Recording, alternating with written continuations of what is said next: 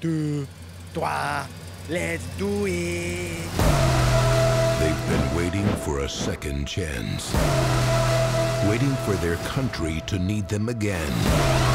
That time is meow. What do you guys give me if I kill that bird? Farva, that's a bald eagle. Get a wing, Baldy! Yeah! Guys, what do I win? A one-way ticket to hell.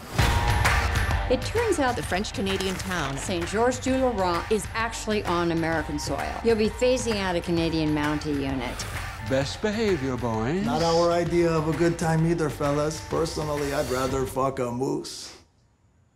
You wouldn't need a ladder to do that. Wow.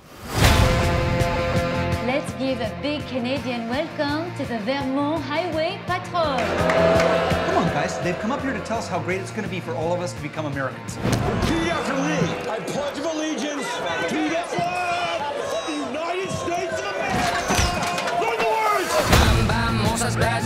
This is happening. Est-ce que vous savez à quelle vitesse vous allez? Do neither of you speak English? I do. We would like to eat your papers. Can you show me your party papers?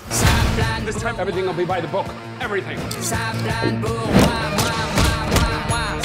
the fuck are you guys doing? Great Tim Hortons ghost. What can I get for you guys? Cold beer, liter of cola. What did you say? Do you want a liter of cola? Canada's pretty awesome. Boop, boop. Don't do that. Boop, boop, boop, boop.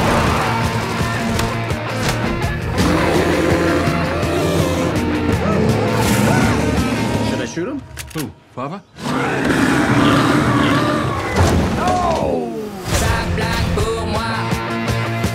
Frère Jacques Grey pour Paul Marquis de Saturette. Whoop, Feather Duster, Croissant, Les Misérables, First Catcher, Luke Robitaille, D'Artagnan, Perrier, Friend Tarkenton, Peanut Buster, Parfait. Eau de toilette. Eau de doudadin. Ça plane pour moi.